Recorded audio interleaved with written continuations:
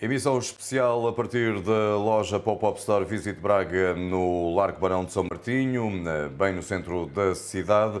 Estamos aqui até domingo, dia 23, para levar até si a maior festa popular do país, o São João de Braga. Vamos agora falar um bocadinho sobre oficinas criativas de São João de Braga, perceber que iniciativas são estas que são levadas a cabo pela Associação Pátio Bravo. Comigo tenho a Catarina Silva. Olá, Catarina. Muito boa tarde, obrigado por uma vez mais estar aqui, porque Sim. já não é uma estreia da Catarina nas emissões especiais de São João da Rádio Antena Minho. Uh, hoje vamos falar sobre estas oficinas criativas, uh, o, como é que elas se realizam e o que é que são concretamente?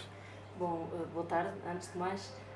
Estas oficinas surgem aqui tem como mote os, os, livros lançados aqui no âmbito das festas de São João de Braga. Um primeiro livro que é o Cancioneiro São Joanino Bracarense, um segundo livro, que é As Tradições de São João de Braga, e um terceiro, que foi lançado há, há dias, uh, que é o Trajar no São João de Braga. Cada um dos livros dá origem a uma oficina, uh, isto acontece apenas este ano, não, é? não aconteceu até agora. Uh, cada um deles dá origem a uma, uma oficina que foi levada a três escolas diferentes do Conselho, Uh, e aqui às festas também para as famílias, os pais e crianças que, que queiram vir. Portanto, estamos a falar de três livros, dois deles que já foram publicados sim, 2022, eh, anteriormente. 2023, sim, sim. Este novo livro, que é o Trajar. livro Trajar no São João de Braga, com ilustração de Zita Pinto, é deste ano já a publicação? É deste ano. Sim, sim, sim, sim, é deste ano. E, o que portanto... acontece é que vocês foram apresentando os livros nas escolas, já, pelo menos os dois anteriores, não é? já fizeram oficinas nas escolas sobre este livro para ver se eu percebia sim, um bocado sim, a mecânica. E agora no São João também essas mesmas oficinas se vão repetir um pouco para, para as pessoas, para as famílias. Sim, sim, sim. sim. Um, no caso do, deste último livro, de Zita Pinto, as oficinas ainda vão acontecer, quer nas escolas, quer na, aqui que é no sábado. Festas, no sábado, dia 22, 22, às 10 da manhã, no Museu do Traje, Dr. Gonçalo Sampaio. Também aqui uh, no centro da cidade. Exatamente. As outras oficinas também aconteceram, estas dedicadas às famílias também aconteceram no Museu do Traje. Um, e pronto, a primeira foi sobre o, o cancioneiro uh, São João. o que é que vocês fazem? O que é que vocês é realizam nesse sim, período? Sim, sim. A primeira foi uma oficina mais musical, onde se experimentou algumas das cantigas aqui mais populares uh, do São João de Braga. Até porque recurso... o livro era dedicado ao cancioneiro. Exatamente, com recurso a algumas percussões uh, tradicionais. Essa oficina foi orientada por mim e pela, pela Rebeca Rego. Uh, depois a segunda oficina, que já aconteceu no sábado passado e também em, em escolas, orientada pela Soraya Oliveira, que é a ilustradora do segundo livro também. Um, e aí o que estiveram a fazer foi mais dedicado à, às ornamentações das festas. Uh, as crianças e os pais estiveram a fazer balões com diferentes padrões e, e, tudo mais. Ah, falta dizer aqui também que o primeiro livro é ilustrado por André, foi ilustrado por André Eiras. Uh, pronto. E este terceiro livro de, da Zita Pinto, que foi o último a sair e por isso é que as oficinas ainda vão acontecer, porque esperamos pelo lançamento, é dedicado ao trajar no São João de Braga. As crianças e os pais vão ser convidados a, a trajar corpos uh, e para já é isso, com recurso às artes uh, uh, plásticas, à semelhança do que aconteceu com a Soraya na, na Oficina das Tradições de São João. Catarina, olhando um bocadinho para o que é este livro e para as suas ilustrações, as pessoas vão ficar a conhecer um bocadinho do que, é, do que eram os trajes típicos da, daquelas épocas, sim, ou sim, ao longo sim. dos tempos no São João de Braga? Sim, sim, este livro uh, não há regra, não é para trajar, não há, um, não há dois trajes iguais, uh, fomos aprendendo isso também à medida que fomos trabalhando o livro, mas é um livro inspirado nos modos de vestir dos finais do século XIX e inícios do século XX, uh, nomeadamente os trajes que mais aparecem aqui nas, nas e eram sempre trajes festivos? Nem sempre, temos trajes de trabalho, do, do cotidiano também representados, Uh, e depois também temos trajes festivos, os trajes dos romeiros, também de cerimónia, gente com mais posses uh, e de festa também, que vinham só para esses dias, mesmo que em casa depois andassem com outras roupas. Uh, e pronto, acaba por dar ênfase aos modos de trajar que mais se vêem aqui nas festas de São João de Braga, seja nos cortejos, na, nas rusgas, é? na noitada do, do, dia 23. Pronto, o livro é, é essa abordagem que é, que é dada, sim.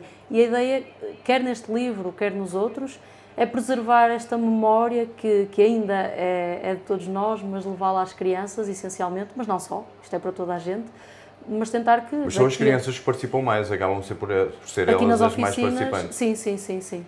Uh, mas a ideia é que realmente isto fique para gerações futuras e que o São João não perca esta identidade, em particular o São João de Braga, que acho que tem esta peculiaridade, não é? o, o Minho, e tem essa riqueza Minho. também. Sim, é? sim, dá muito, muito destaque a, a estas tradições. Eu acho que é muito importante manter isso vivo e nada melhor do que as crianças para, para ir ensinando e, Vocês estão à espera de muita gente, da participação de muita gente. Eh, como é que foram as outras nas, eh, já as outras oficinas? Nas outras oficinas, entre pais e filhos, tínhamos à volta de 15, 20 pessoas, o que para este tipo de oficinas é um número bom. Uh, não dá para fazer Vocês têm uma lotação prevista sim, também? Sim, sim, sim, tem sim, que é 25, por isso está dentro disso. A oficina da Zita Pinto, esta do Trajar no São João de Braga, ainda tem as inscrições abertas, por isso se alguém quiser ainda pode fazê-lo através Como do, é que as pessoas podem... site, do site de São João de Braga, podem fazer um, e já tem perto de 20 inscrições, por Portanto, isso está quase, está quase, quase a terminar. terminar. Sim, sim, sim. Portanto, indo ao site do São João de Braga, as pessoas podem fazer a sua inscrição, sim, que sim. é para sábado, a que horas? Às 10 da manhã. Às 10 sim, da manhã. No Museu do Traje, uh, Dr. Gonçalo Sampaio. Uh, também acho, acho que é importante dizer aqui, esta iniciativa está a ser levada a cabo aqui pela Pátio Bravo, em, em conjunto com a Associação de Festas São João de Braga, e tem um apoio muito importante da Câmara Municipal de Braga, que, que no fundo viabilizou uh, este, este projeto. Uh, foi através do Pelouro da Educação que, que, se conseguiu dar... Estamos a falar de um projeto que se realiza pela primeira vez este ano. Sim, sim. Noutros vai, anos não houve... E vai repetir-se? Uh, não sei ainda, espero que sim, mas vamos ver, porque a verdade é que o São João tem muitos temas e os próprios livros têm muitos temas que podem ser abordados e levados às crianças. Vamos ver. Catarina, fala-me um bocadinho já para terminar do que é a vossa associação Pátio Bravo. A Pátio Bravo é uma associação relativamente recente, tem coisa de 3 anos, se não estou em erro, uh, e dedica-se aqui a várias formas de arte, quer à música, o ano passado falei aqui uh, a propósito da Gala São Joanina, uh, quer aqui às artes visuais, enfim, não está fechado, é, é, é tudo o que for arte e cultura. Um, e temos aqui algum interesse particular nas tradições e do que é este património imaterial, não só de Braga, mas, mas de Braga em particular, eh, porque achamos que realmente é interessante, é importante preservar essa memória coletiva ou, fazer com que continue a sê-lo. Que tipo de eventos é que vocês realizam ao longo do ano, eh, fruto do vosso trabalho, da vossa pesquisa? Nós temos, temos levado a cabo estes livros, eh, em princípio haverá um próximo, no, no próximo ano, por exemplo, concertos como a Gala São Joanina, do ano passado, temos agora também aqui, aqui em Braga também estamos a trabalhar um coro comunitário de mulheres, uh, ligado à tradição, mas não só, também com alguma componente interventiva. Uh, pronto, estamos uh, viradas para esse tipo de, de, atividade muito pronto, na cultura. Portanto, o mais próximo para ver o vosso trabalho realizado nos últimos tempos será estas oficinas criativas, serão estas oficinas criativas do São João de Braga, próximo sábado às 10 da manhã no Museu do Traje Dr. Gonçalo Sampaio, inspirada, uma oficina inspirada eh, no livro Trajar do São João de Braga, com a ilustração da Zita Pinto. Ela estará presente também. Será ela a orientar a oficina? Será ela a orientadora deste, deste, desta oficina. Ainda vai a tempo de se inscrever no site das festas do São João de Braga, da Associação de Festas.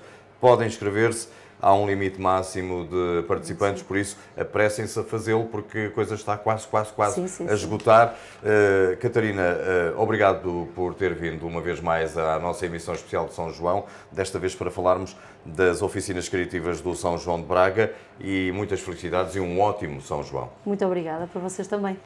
Continuamos em direto na, na Rádio Antena Minho, do, da Pop-Up Star Visit Braga, no Largo Barão de São Martinho. Eh, estamos numa emissão especial de São João, levada para o mundo inteiro também em antenaminho.pt.